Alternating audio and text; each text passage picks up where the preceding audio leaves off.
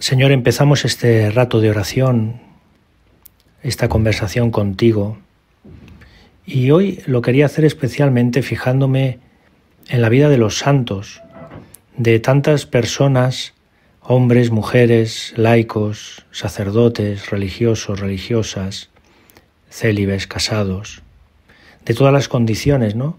Y sobre todo aquellos santos que más se acercan a nuestro tiempo, porque de alguna manera su vida que es como un reflejo de la tuya, Señor, como más cercano a nosotros.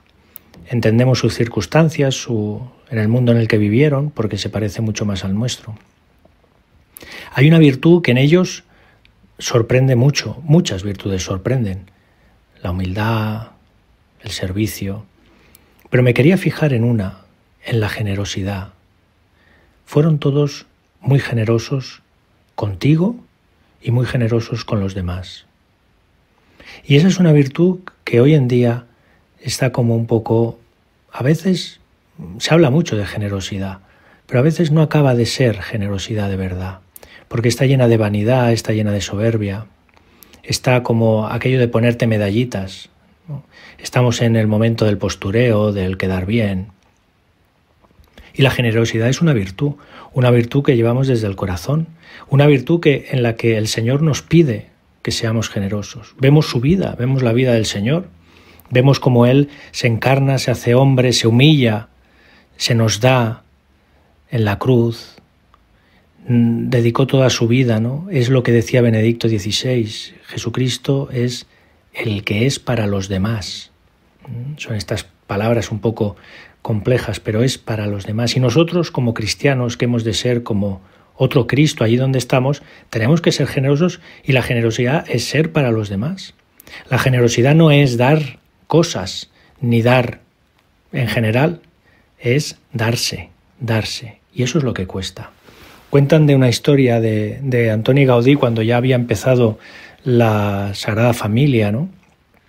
Necesitaba dinero para, para, pues, para proseguir las obras. Y se fue un señor de cierta posición de la burguesía allí en Barcelona y le, le fue a pedir dinero. Y entonces, eh, pues nada, le pidió dinero, le dio una cantidad, Antoni Gaudí le, dio las gracias y el señor le contestó, no me dé las gracias, eh, Antoni, que, que para mí no es ningún sacrificio. Entonces el arquitecto, con gracia, le dijo, pues entonces no sirve mejor dicho, no le sirve a usted.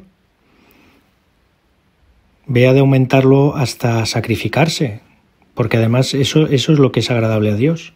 La caridad si no tiene como base el sacrificio no es verdadera y tal vez no sea más que vanidad. Entonces el hombre se quedó como reflexionando, un poco flipando, podríamos decir, de la respuesta, y como era un buen cristiano, lo comprendió y entonces le entregó un donativo muchísimo mayor. Y entonces este señor le dijo a Antoni Gaudí, ahora soy yo quien le da las gracias a usted.